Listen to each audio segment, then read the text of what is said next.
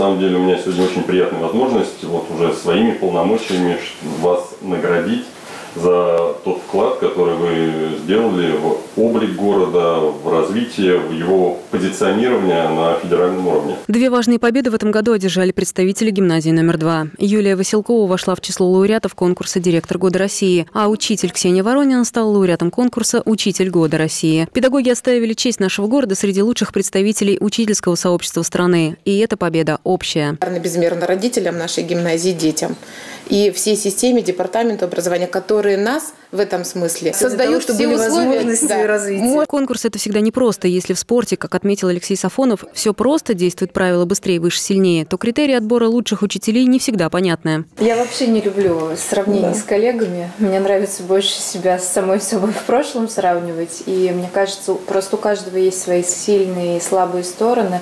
И надо понимать, что не каждый человек, в принципе, может в конкурсе участвовать.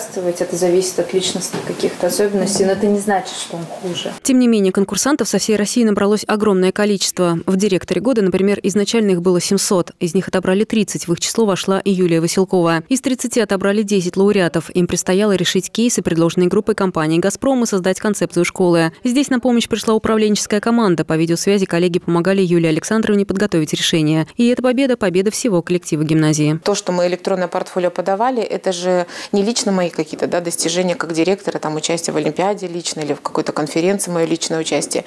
Нет, безусловно, это результаты работы гимназии за определенный промежуток времени.